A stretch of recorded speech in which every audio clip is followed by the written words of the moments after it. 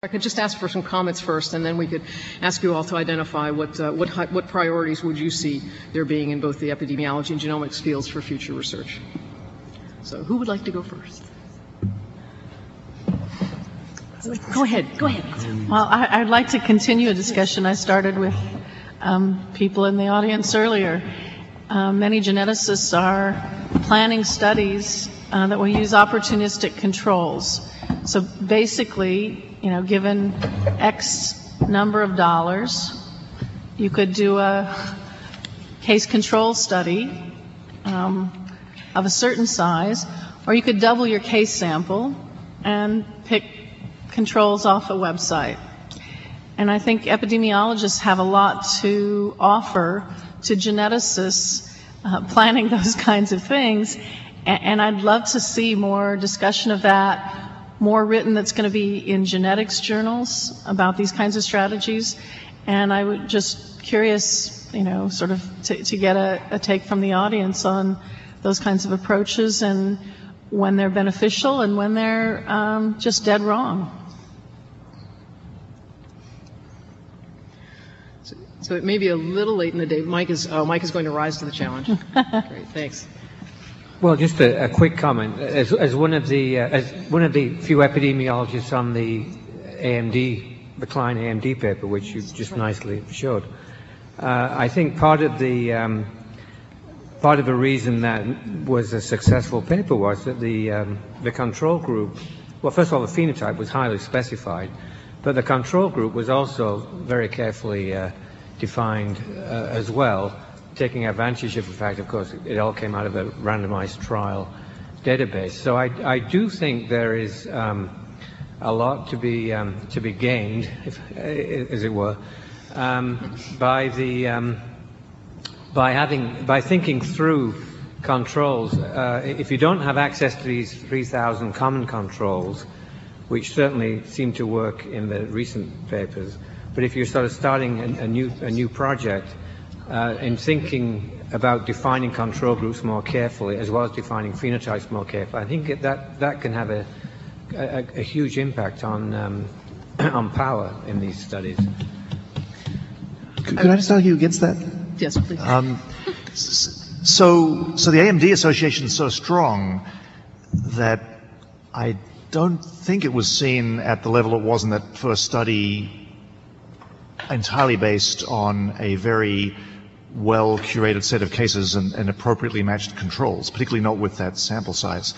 So, so I, I, just want to propose that um, that in fact actually uh, for many of the phenotypes where we now have hits, the genetic association and strength of association is actually going to tell us a lot about uh, the uh, quality of the phenotype, and that actually the genetic association, if it's seen at the same level as the moving average meta-analysis may be more informative about the quality of the phenotype than what we used to think was informative, which was, you know, was it measured in a clinic by a specialist, et cetera, et cetera.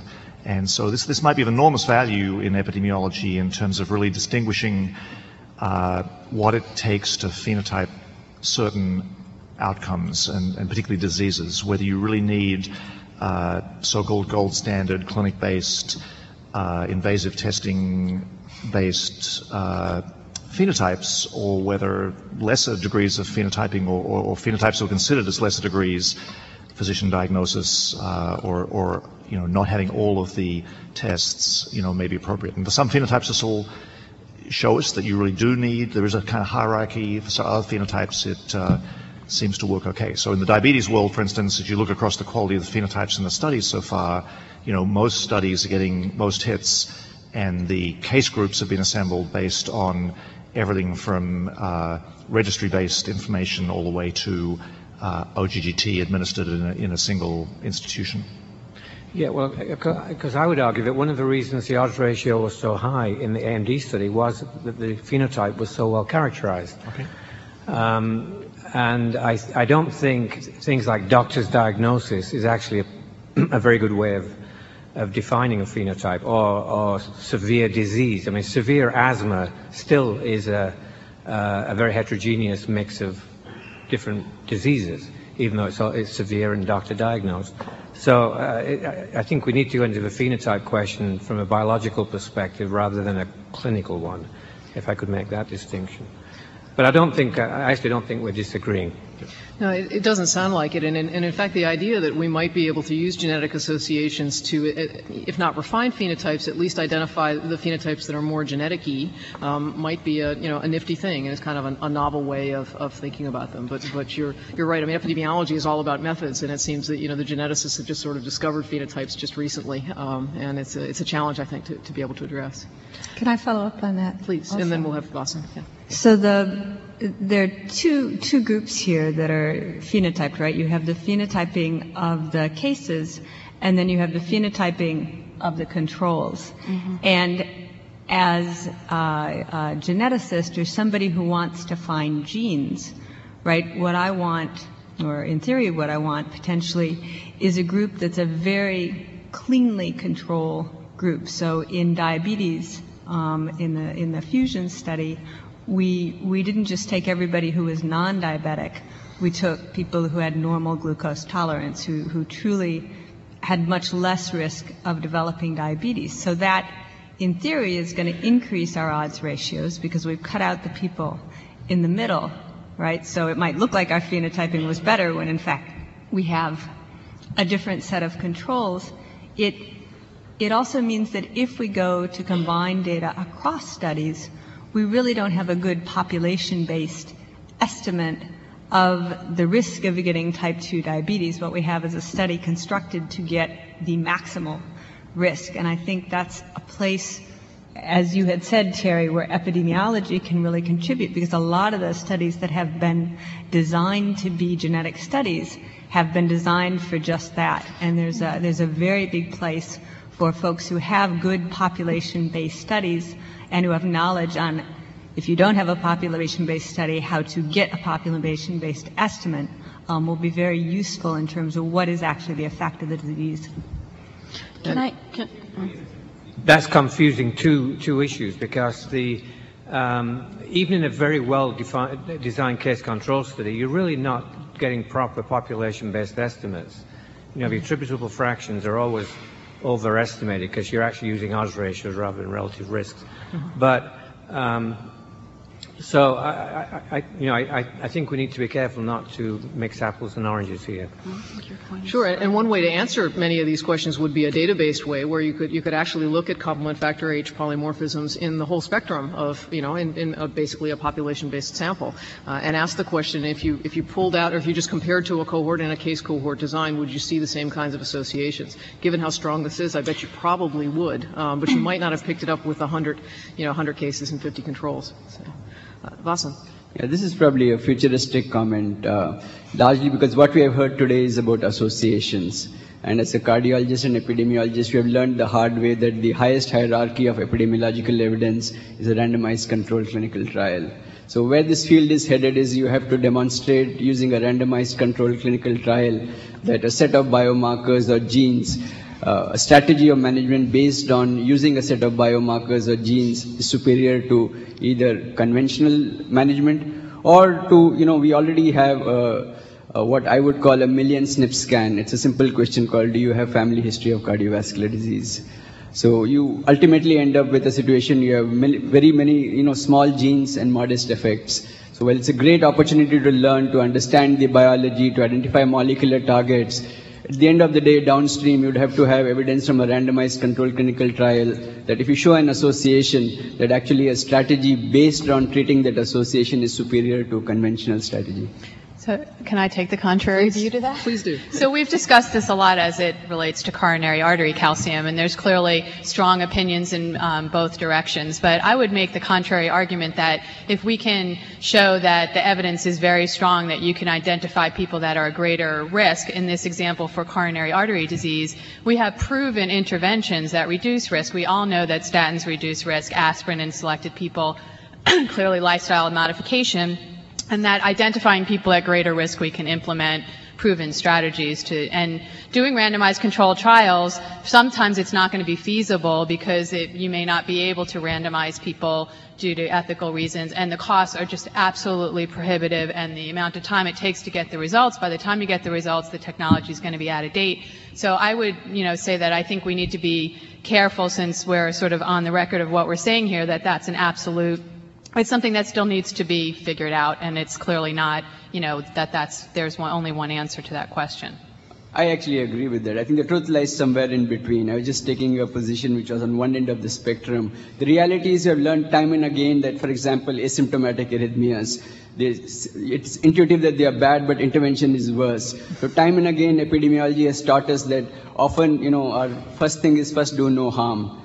And while we can predict disease, that does not necessarily mean the prediction tools end up in better management. One hopes to do so, but probably I think it's, wor- it's worthwhile to have you know, an element of caution in terms of you know, all these associations which are being described. Hopefully they'll result in personalized medicine, but that has to stand up to the scientific evidence based on randomized trials, at least in some ways as feasible.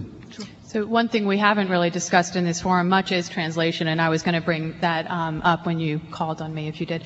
So um, I think it would be helpful for us to also talk about now that we're getting this um, wave of data, what we're going to do with all these data. We talked about whether we're going to give it back to individual research subjects, but what are we going to do now as uh, clinician scientists to try to translate this work into clinical practice? We have um, funding from the Reynolds Foundation, and uh, their strong mandate is for us to do research that's going to be easily translatable in just a few years. And we kind of all went, whoa, how are we going to do that? And um, I think it's our challenge to try to figure out, you know, is one to get the data out to the scientific community as rapidly as possible, but I think it's also our obligation to get the um, information in a way that it can help our patients as quickly as possible, and maybe we should have another session to discuss how to do that. Yes, no, it's a good point. Next question. Along the same lines, I suppose. um, in, in, humans and any organisms, as a matter of fact, um, there are these are hierarchically organized. There are individuals, there are families, there are populations, and then we know very well disease is individual based, and then they run in families. But unfortunately, all the GWAS studies and all the association studies and most epidemiological studies are concerned with population and average, um, uh, taking average. And then, so now the question is, with all the G- GWAS studies and all the insights that, have, um, that we have um, uh, obtained so long, how can we glean into, say, families and individuals? How, how can we decouple these things from the information that we have obtained so far? And I'm sorry, how, how can we decouple? Yeah, for, for individual, for, for individual level. For example, um, say in, um, in, in, medicine, um, individual is the unit of treatment. Similarly, when we look at um, uh, from uh, from uh, population genetics perspective, individual is the unit of selection, meaning individual is the one who gets the disease and he probably he or she dies. Uh, so, from all of this you know, enormous um, information that's available, how can we boil down to take care of say, one individual and two families? Because that is where the disease is, the individual and family, because um, diseases run in families. Any quantitative character that is, that is meaningful runs, runs in families. Right. Well, I, I think that was the, what, what um, uh, Wendy was alluding to, that the right, translation right, of this is going to be very difficult and is, and is probably years worth of discussion and work in, it, in itself. I, I, think, though, what, what you may be alluding to is the fact that genome-wide association now allows us to look at individuals where it wasn't so easy to do that in the, in the past. Um, although we were doing it in, in family-based studies, identifying genes and then looking at those in individuals, and unfortunately those didn't hold up quite, quite as much as, as we might have expected. Maybe Nancy or, or Laura or Wendy would want to comment? Well, I was just, so I, I think he's more addressing the point that we get these averages across populations, and then Yeah, how do yeah, we apply that in individuals for, for something like personalized medicine?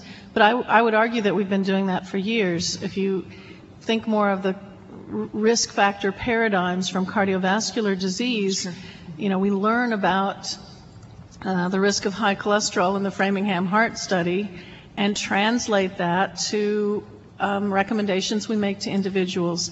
and I think doctors have internalized those kinds of models pretty well. The population at large understands um, cholesterol, for example, triglycerides, understands pretty well. You know, if, if LDL is too high or HDL is too low, triglycerides are too high, it's a risk factor. They try to modify lifestyle, diet, maybe take uh, medications to lower those. And I, I think the translation of the genetic risk factors that are identified in these kinds of studies. Remember, so, so the outlier so far is really TCF7L2 with a 1.4. All, all the rest of them, you're talk, we're talking about mostly 1.2 and less.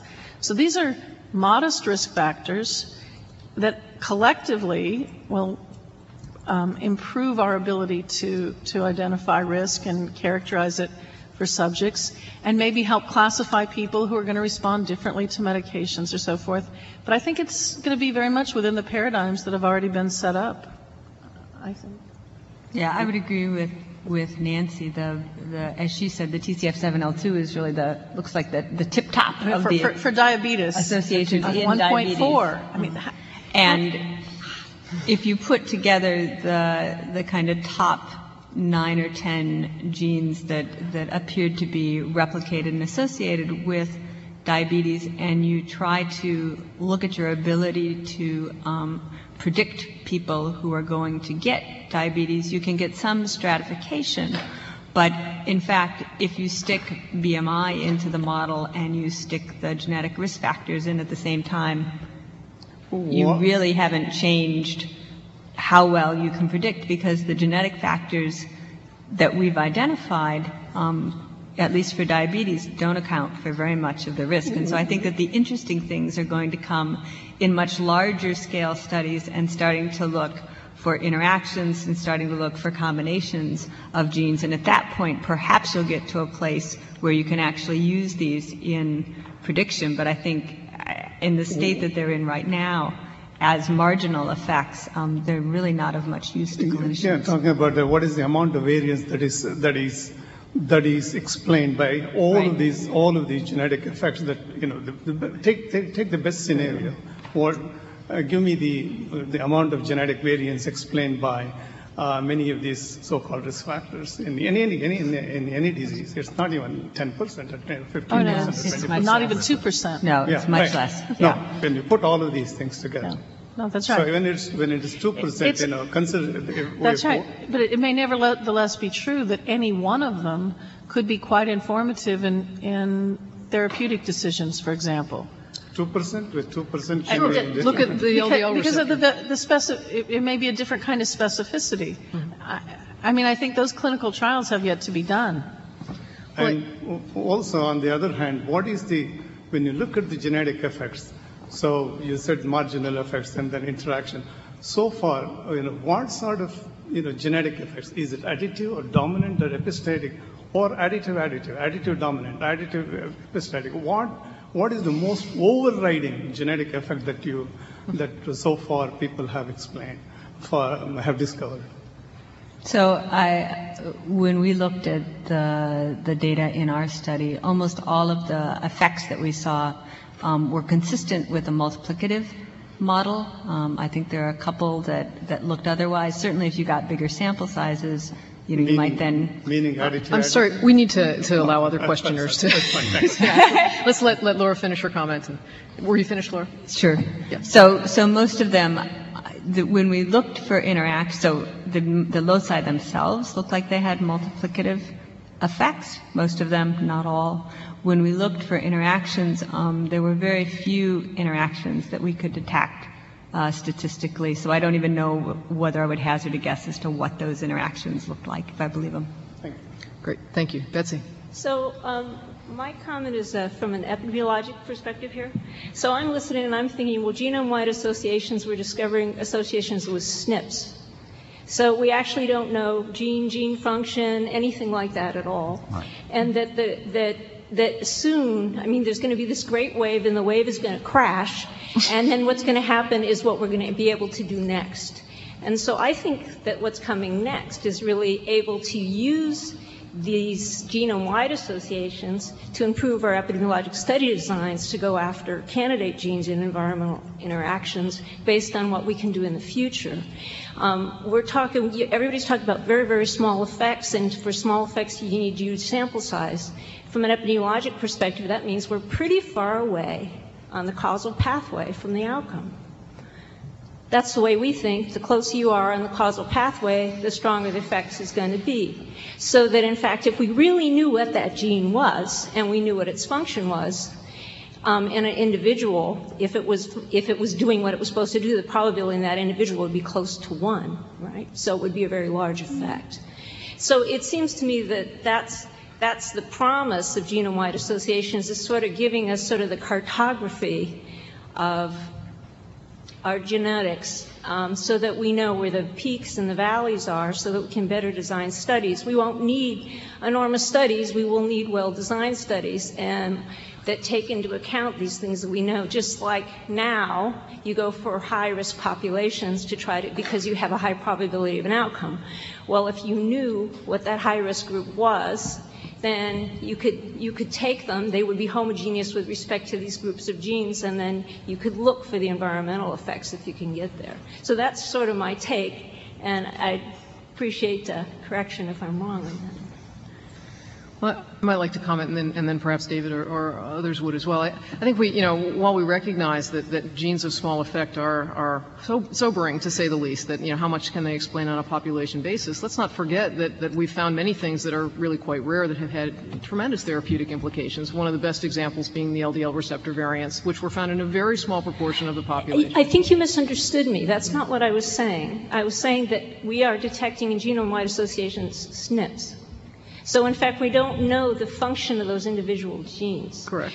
Which means that you basically have a marker for a causal pathway and so that you have a marker. And if we could get closer to what that really was, then we would have a better, we would have a much stronger effect. Well, there are a couple of reasons you could have a small effect. One is that is that you're far away from it, and there are lots of other things contributing. And another is that it only acts in a small proportion of your population. Correct? That's true. But you could. But so my point was, is if we knew if, that we could use genome-wide association stuff to enrich our samples for to address the second one, mm-hmm. or to um, post wave to get closer to what the effects were, the genes were. So either way, we could increase the power to detect an effect if it really is there.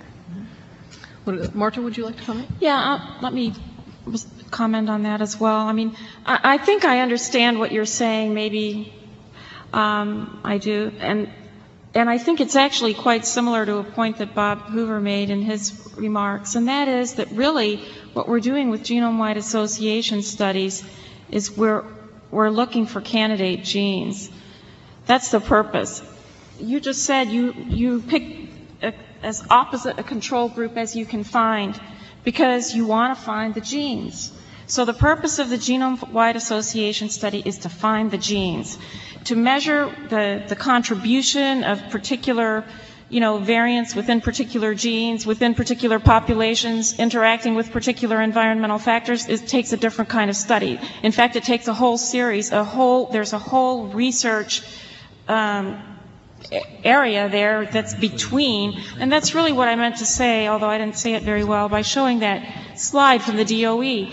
Gene chips show uh, susceptibility. No, the gene chip doesn't show anything except the gene chip. There's a whole body of research that extends from, from that finding to something that can be used in public health. So I, I think that, you know, it's a wonderful tool. It's fantastic just by showing those little histograms that describe the natural history of association studies in those two conditions, Crohn's disease and macular degeneration. I mean, these, these genome-wide association studies have triggered a whole flourishing of additional studies to zero in on, you know, the, the potential um, pathogenesis, the, the, the pathways, the in, intervening environmental factors, and so forth. And that's really where their value lies. And I want to get back to Nancy's original comment also, which was her, her question, which was, you know, um, what about the what about the control populations? Well, if it depends on the purpose of the study. What is the research objective? If the research objective is to find SNPs, find genes, then, then you want the, as far apart as you can get, which was what Laura was saying. If your research objective is to measure the population attributable risk of something, then you need a population-based study. And actually, both the Crohn's disease and the um, macular degeneration examples are, are, are interesting, not only, you know, because um, they've been replicated numerous times in genetic association studies, but because they appear to have substantial population attributable risk. With the macular degeneration, I mean, it's up something like, I think in this study that looked at was- it was BMI and very smoking, high. it was about 70%. Yeah, I mean, So, you know, that's a lot.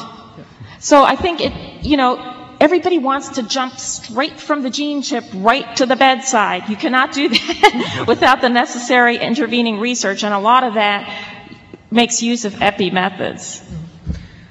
Well, I, I have one quick question for Laura. Uh, It's back, back to this control issue. Okay, Fusion was one of the first large-scale studies with the Illumina product. You were going to have to have controls. So, yes, if you have to type controls, you want to get the best that you have. Um, But if you knew that there was a bank of uh, people from Finland, cord bloods from Finland, you know, so largely matched to your set, and you could do twice as many cases and draw from that free set, or the number of cases you had and your um, well phenotyped controls, what do you think would have been better? And that, I mean, so this is, you know, Right, so this, Epi 101. this, this is the question of ultimately trying to figure out from, from a genetic point of view, how many of the controls in that random set would have become Yes. diabetic. Partly, And then yeah. using that information, I guess my intuition on is if it was twice, twice as large, I probably would have gone for the twice as large sample. Yeah. Um, you know, there's some point at which I wouldn't have, and I don't know exactly where that is, but yes. Maybe in the, uh, in the last 10 minutes, we'll, we'll let you ask your, your question. Um, I'm trying to, we may finish about 4:30 or so, and we'll, we'll ask so, uh, each of the speakers, maybe starting, uh, and with short uh, responses um, from Marta and then just moving down, uh, what they see as being the, the major, the, you know, the most important major step we could take uh, in, in bringing genome-wide association into epidemiology and, and really clarifying which associations are real and are important for translation. So while they're thinking about that, your comments, sir. Short question to Jim Ostell. Uh, Jim, uh, whether there is such a function or will be such function to look uh, for specific SNP, let's say in dbGaP, let's say in Framingham, with several phenotypes to see whether a SNP is associated with several phenotypes, not with one, but with some subset of phenotypes.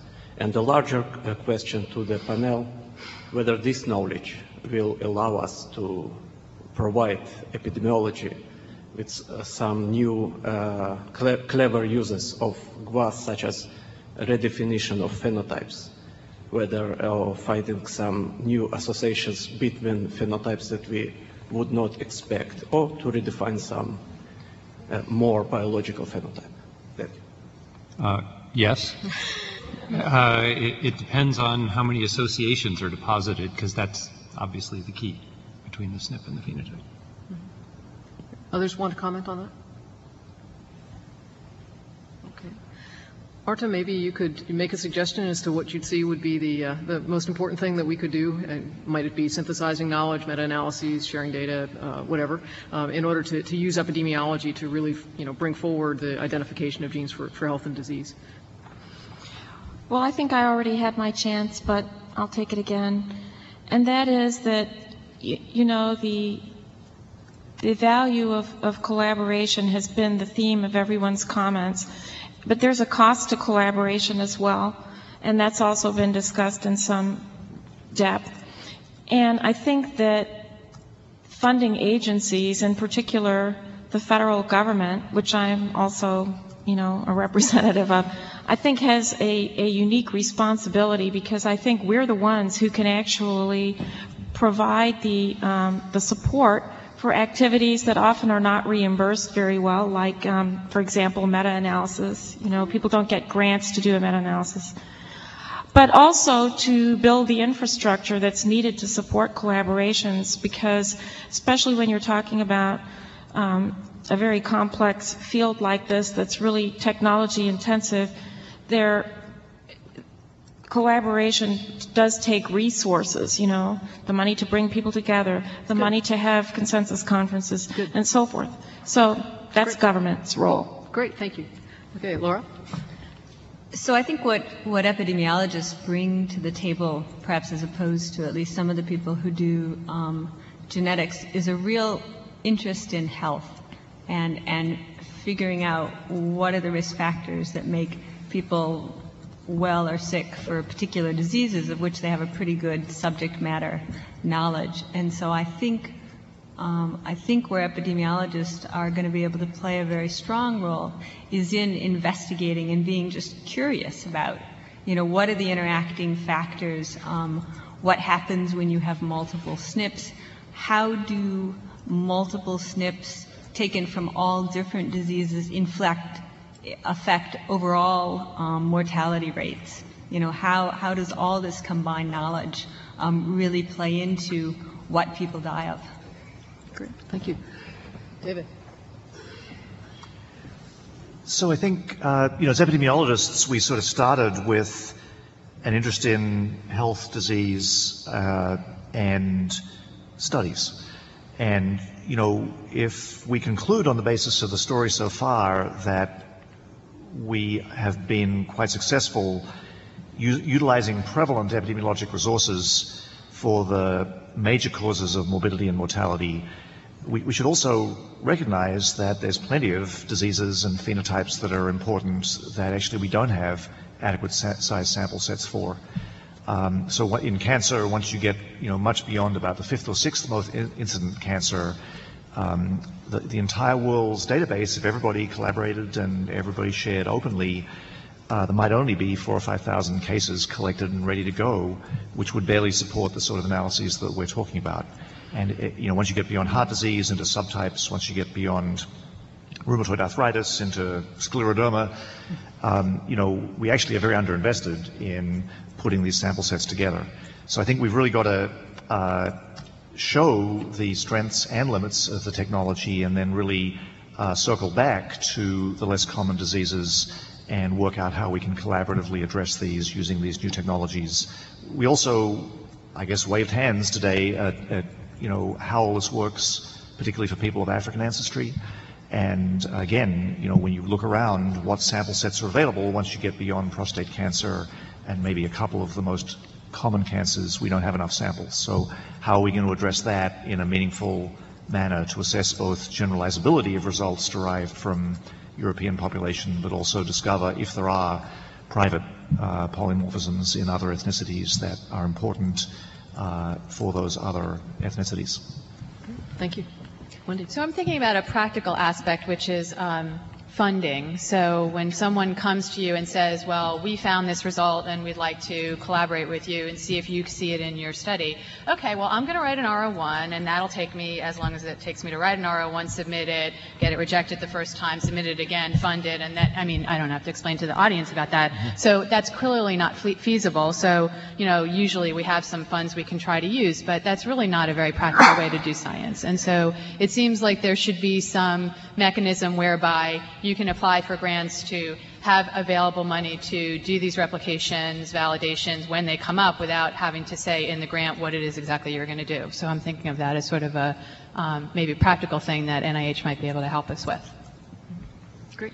I have to say money too. I was appalled to, to learn recently that most of the clinical trials being run um, now, they don't even collect blood samples. And there's a big pushback when you know, geneticists goes to them and said, oh, please, please, please, just collect blood samples. Don't, you don't have to extract DNA.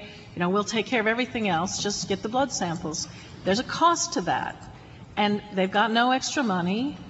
And if they just collect the blood samples, they have to reduce the size of their clinical trial, which they can't do because they have to be powered to obtain a certain level effect size.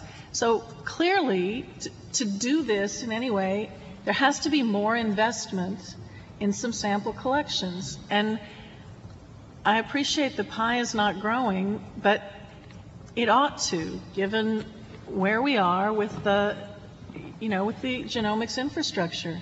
If we want to take advantage of, of all of the information that we've spent all these years investing in, more money has to be put into it, mm-hmm. especially for sample collections that are already occurring. I mean, these data are being collected. It, it's a trivial additional investment to collect the blood samples that will enable all of these downstream things to be done. It's criminal not to do it. I agree. Good. Jim? Well, I, I have to really support that. I was going to say something else, but that's certainly the most important thing is that if you, if you don't have the sample, uh, you can just forget the rest of it and we don't need to talk any further. um, but if you do have the sample and you get the data, I guess the one thing that I would comment on is, as a positive side, it's not the the there's a, there's upsides to sharing data too. And the one thing I was going to say was, over the 20 years that I've been at NCBI and uh, sort of taking different data sets from different communities as they have set up resources like the genome resources, uh, even with excellent groups, almost 100% of the time that we transformed the data from the way the PI had it to the way we were going to store it, we found problems with it. and we were able to work sort of quietly with the PI and sort it out. Uh, and it, it's, it's a simple effect of, you know, the more eyes look at something, the more different ways, the more things you see. Uh, and so it's actually benefited everyone to, to do that. Great. Yeah, so having, having more than one set of eyes is really, really very important, and, and I think it's been very useful in many data sets. I think um, um, I, I, would obviously agree with everything that's, that's been said here. How we make those happen is sometimes a little more challenging than, than coming up with them, but we have to come up with the good ideas before we can, we can actually move forward.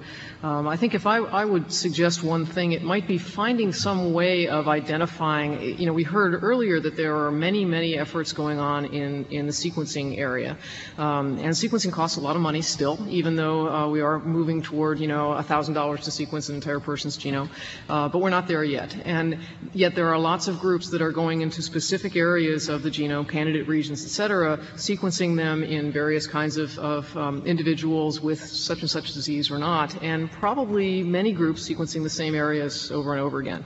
And there, there must be some way that we could identify what those efforts are and, and annotate somewhere. You know, we could have a, a database of sequence efforts or something um, that, that basically said, yes, this group did, did 100 people with these characteristics. Because when you look at any one, almost any one of these genome-wide association studies, uh, many of them will say, oh, and then we went back to the lab and we sequenced these people over this region and we found these 14 additional SNPs. And, and so to, to try to keep other, others from overlapping that, and then we might have the money to do the blood collection that Nancy is referring to, um, and the support for in- infrastructure that others have commented on, and the support for young investigators. So that would be my suggestion.